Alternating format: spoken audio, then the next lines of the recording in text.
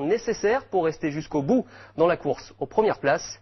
Ce matin, en conférence de presse, Eric Guéretz a rappelé que les trois points pris dimanche dernier face aux Girondins ne devaient pas être propices à un excès de confiance. Il ne faut pas exagérer contre Bordeaux. C'était bon.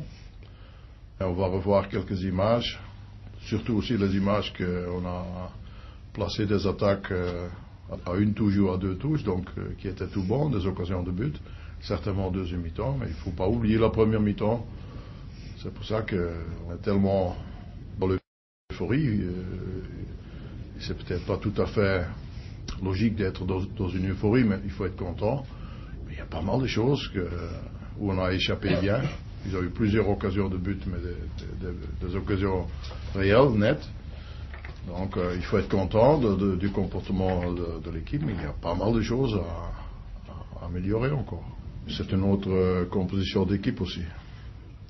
Donc il y, a, y a de toute façon des choses qui changent dans ton attaque, tu, tu, mets euh, un peu plus des autres accents. Euh, donc il y a pas mal de choses qui changent, mais, l'état d'esprit de l'équipe reste le même. On défend de, la même façon, mais il y a des détails qui changent évidemment vu la composition tactique de l'équipe adversaire. Il faudrait faire une petite série maintenant. Donc un match nul pour le moment c'est pas c'est pas assez. Peut-être qu'après le match je vais dire je suis extrêmement content qu'on a fait un match nul. Euh, parce que ça dépend aussi un peu de l'adversaire et, le fait si, oui ou non tu es capable de, faire le jeu là-bas. Mais on a pour le moment évidemment une, plus grande confiance.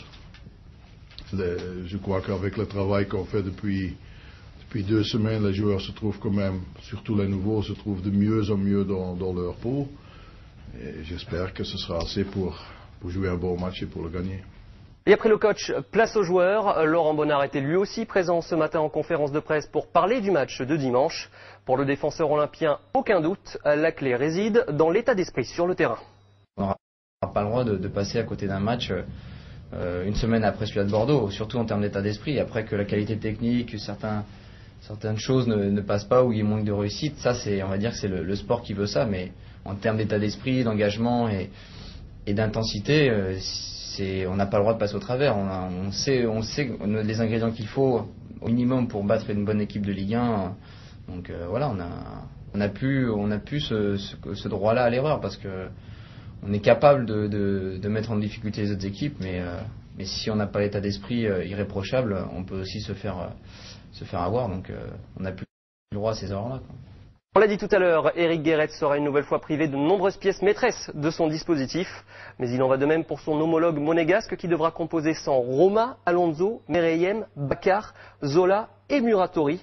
Tandis que le croate Yarko Leko réintégrera l'équipe des Rouges et Blancs. Une formation dont se méfie Eric Guéret, parfaitement conscient des difficultés avec lesquelles doit composer Ricardo. C'est une équipe qui qui est certainement très discipliné. Ils ont montré le match qu'ils ont joué au Vélodrome qu'ils sont capables d'avoir une sacrée discipline. Donc c'est un compliment pour un entraîneur qui doit pas toujours travailler dans des circonstances assez faciles. Sur le plan financier, évidemment, ils n'ont pas les moyens pour le moment Monaco. Je crois que malgré tout, en plus tout le monde sait que je l'aime bien. Mais c'est quelqu'un qui fait assez sérieusement son travail. Donc il va certainement préparer son équipe. Euh, d'une manière euh, euh, convenable. Et c'est à nous autres, nous autres à trouver la clé. Et aussi talentueux soit-il, le coach brésilien n'a pas encore trouvé la bonne formule pour son équipe cette saison. Enchaînant les bonnes et les mauvaises performances, les monégasques végètent dans le milieu du classement depuis le début de la saison. Retour en image sur le parcours de l'ASM avec ce sujet signé Ludovic Baldetti et Stéphanie Cecilio.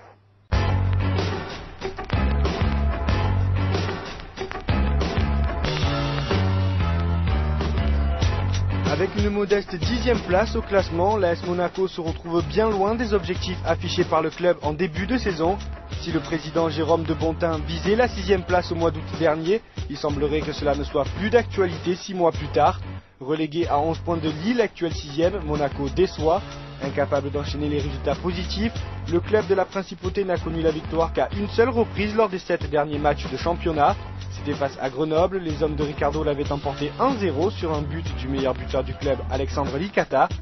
Inconnu il y a six mois, cet attaquant formé dans le club isérois est littéralement en train d'exploser cette saison sur les pelouses de l'Hexagone. Lui qui n'avait encore jamais disputé la moindre rencontre de Ligue 1 avant le 30 août dernier est aujourd'hui un homme clé du dispositif de Ricardo.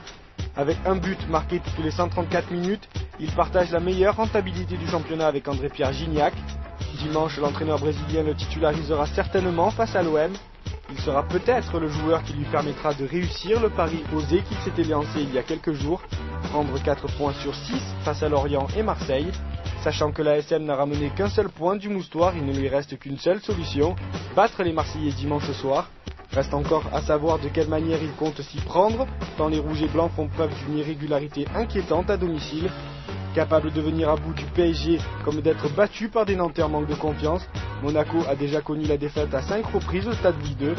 Une bonne nouvelle pour les Phocéens qui devront néanmoins rester vigilants.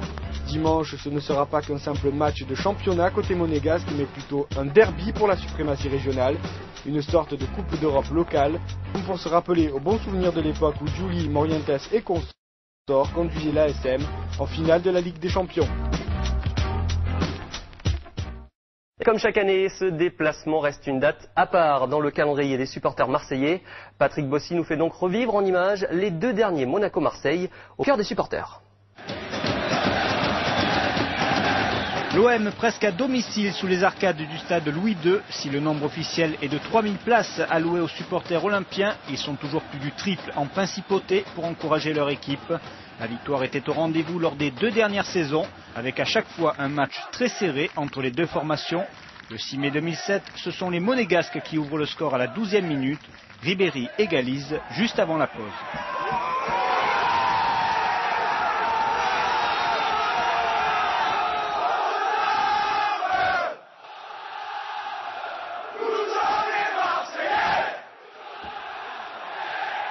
Soutenus comme au Vélodrome, les joueurs d'Albert Raymond se doivent de l'emporter. Ils sont à la lutte avec Lens et Bordeaux pour décrocher la seconde place du classement à trois journées de la fin.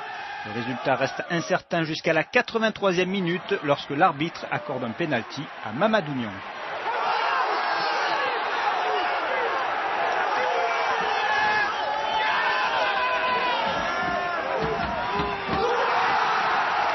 L'OM s'impose 2-1 et terminera second du championnat. La situation est presque identique le 27 avril dernier, toujours à l'occasion de la 35e journée. Distancés par Lyon et Bordeaux, les Olympiens doivent gagner pour prendre la troisième place à Nancy. Dans un stade Louis de blanc et bleu, Nasri inscrit le premier but de la partie à la 28e minute. Les nerfs olympiens sont mis à l'épreuve à l'heure de jeu. Monaco égalise à la 56e, Taïwo redonne l'avantage à la 61e. Une joie éphémère sous les arcades de Louis II.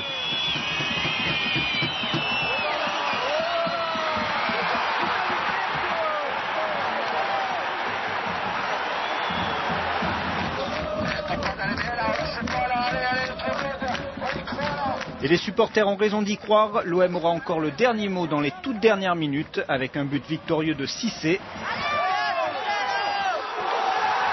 Score final 3-2 et 3 points supplémentaires qui pèsent lourd au terme de la saison.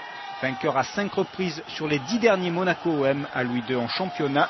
Joueurs et supporters olympiens visent encore et toujours la victoire dans cette annexe du Vélodrome. Toujours en marge de cette 24e journée, nous reviendrons bien sûr à nouveau demain sur cette équipe de l'AS Monaco. Mais c'est maintenant la fin de cette